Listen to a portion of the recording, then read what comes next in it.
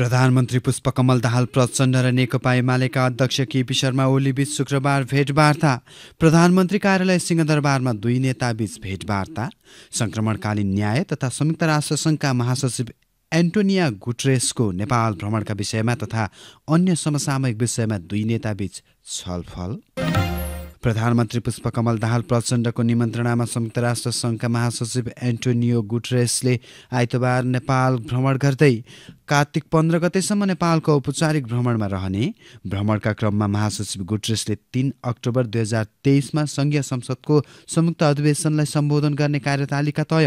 हिमालयमा जलवायु परिवर्तनको प्रभावको अवलोकन गर्नका साथै प्रभावित समुदायसँग संक्षिप्त कुराकानी गर्ने कार्यक्रमसँगै भगवान गौतम बुद्धको जन्मस्थल लुम्बिनी र पोखराको भ्रमण समेत गर्ने जानकारी भ्रमणका क्रममा महासचिव गोट्रेसले राष्ट्रपति प्रधानमन्त्री लगायत उच्च पदस्थहरूसँग भेटवार्ताका कार्यक्रम समेत तय भएको परराष्ट्र मन्त्रालयद्वारा जानकारी नेपाल रेड क्रस सोसाइटी भक्तपुरद्वारा ब्लड ब्याङ्कमा समेत रगत अभाव भएकाले रक्तदान गर्न आह्वान।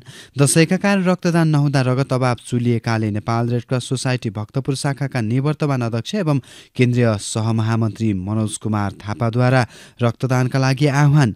देशव्यापी रूपमै रगत अभाव चुलिएकाले आफ्नो एक पिन्ट रगतले अरूको ज्यान बस्ने भएकाले यो पुण्य काममा रक्तदान गरेर सहयोग गर्न सबैसँग आह्वान। घाँटीमा लगाउने सिक्रीको विषयमा विवाद भएपछि महोत्तरीमा दुई भारतीयद्वारा एक युवकको हत्या।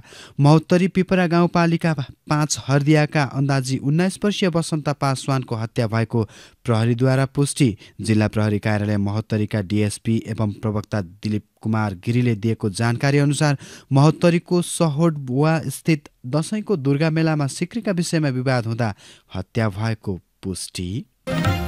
र उत्कृष्ट प्रदर्शन गर्दै उपाधि भिडन्तसम्म पुगेको आयोजक राष्ट्र नेपाल त्रिकोणात्मक टी ट्वेन्टी क्रिकेट श्रृङ्खलामा चुक्यो फाइनलमा शुक्रबार किर्तिपुर स्थित अन्तर्राष्ट्रिय क्रिकेट मैदानमा भएको फाइनल खेलमा संयुक्त अरब इमिरेट्स युएई नेपाललाई चार विकेटले हराउँदै बन्यो च्याम्पियन।